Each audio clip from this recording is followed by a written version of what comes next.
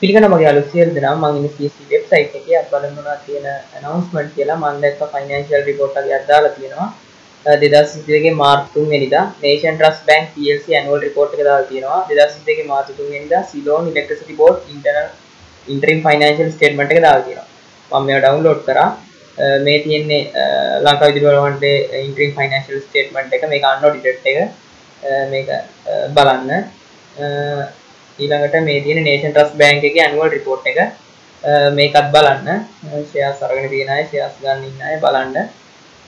සෙල් කරන්න ඉන්න අයත් බලන්න. එහෙනම් මේක ගැන තමයි කියන්න ඕනේ. Thank you ඔයගොල්ලෝ ඔක්කොටම.